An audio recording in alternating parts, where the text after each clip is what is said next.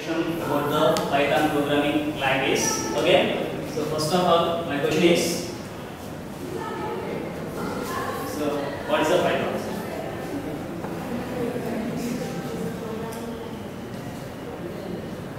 What is the Python? Python is a your C, C++, Java are also programming languages, right? So first we have to know why should we learn the Python.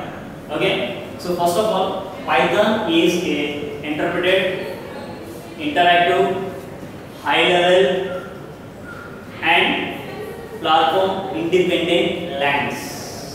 Okay. So first of all, are the uh, how to uh, define the Python? Python is a high level, interactive, interpreted programming language, right? Yes no?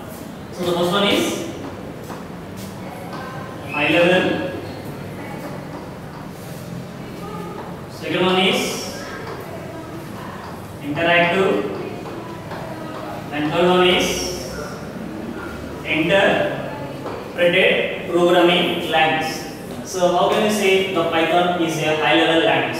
Okay, so here Python is very easy to learn compared to other programming languages. Okay, at, at the same time it is interactive.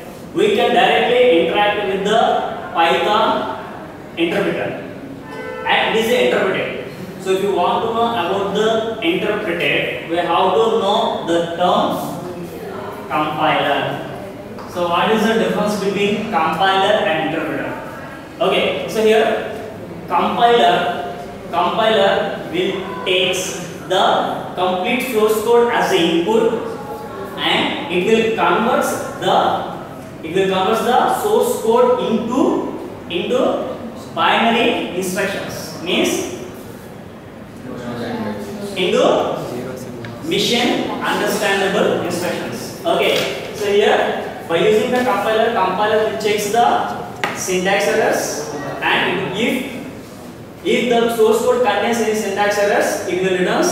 If the, it doesn't contain the syntax errors, simply it will convert the high level code into the mission understandable code called binary instruction. Is it clear? Coming to the interpreted, interpreted will converts, sorry, it will takes the each instruction as input. Here the source code includes set of instructions, right? Yes or no? Coming to the interpreted, interpreter will accept the single instruction, sorry, single instructor as a input, and it will process the it will process the single instructor at a time. But coming to the compiler, compiler will take the set of instructions as a input, and will process the complete instructions at a time. Is it clear? Okay. So if you consider C, C++, and Java. Java, C, C++ is a compiled and interpreted language. Means, uh, if you are trying to write any C program, first you are, write, you are going to write the C code and you are going to uh, check is there any syntax errors by using the compiler, right? Yes or no? If is there any syntax errors, it will returns. It, it will identify if there is no syntax errors. Simply, it will convert to the binary code. Okay, that binary code can be understood by any machine. Okay, so the interpreter will convert the binary code into the machine understandable instructions. Okay, coming to the Python. Python is a interpreted means it is not a compiler. No need to compile the Python code separately. At the time of executing, at the time of executing, okay, the interpreter will automatically it will automatically compile and interpret it. Is it clear? Here compilation is not done at runtime in C or C++. Okay, but coming to the Python, Python will convert the source code into the machine understandable instructions and it can be compiled at runtime only. Okay, so there are two stages to execute the program. One is compile time and another one is runtime in C, C++ or Java, right? Yes or no? But coming to the Python, once the code is created that can be compiled executed at same time. Okay and uh, it is a platform independent. So it is a portable. What is the mean first you have to know meaning of portability. What's the meaning of portability?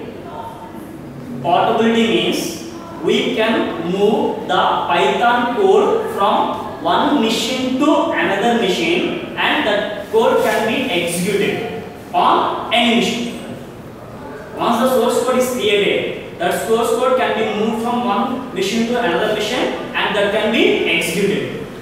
Is it clear? That is the meaning of portability. And it is also a platform independent. You see okay. Okay, so here uh, Python is easy to learn and it is a open source and it is a interactive and it is a platform independent and it is a interpreted language and it is a high level language. Is it clear? And then who introduced this Python language? Okay, so the person Vidi Van Rossum. Vidivan Rossum is a person who introduced the Python language in the year 1991. Okay, so it is conceived in the uh, it is conceived in 1980s. Okay, but it is released in the year 1991. Why the why it is named as a Python? Okay, so since he was a big fan of he was a big fan of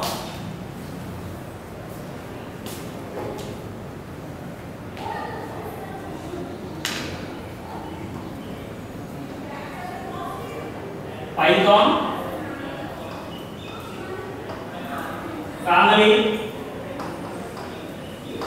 circus दोनों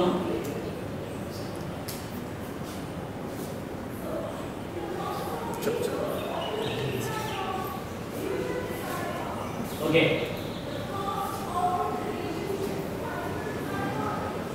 So Python is a compiled and interpreted language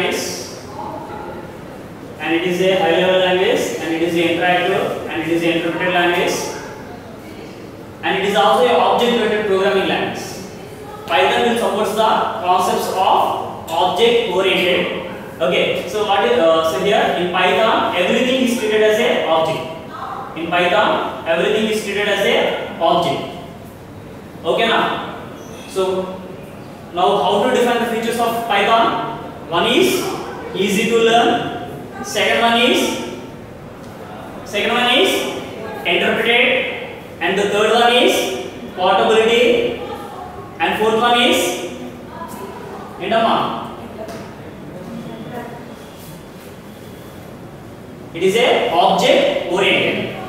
Okay now. Then why should we learn this Python? Why should we learn this Python? Okay, so here Python programming languages will reduce the development time. It will reduces the co- uh, code size. It will reduces sorry, it will reduces the development time and code size.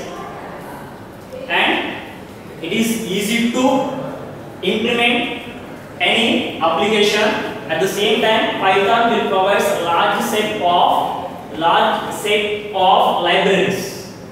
Those libraries can be used to solve any complex task. Okay. At the same time, Python is also used in the web application development and in GUI-based applications and gaming and, and in the education sector. Okay.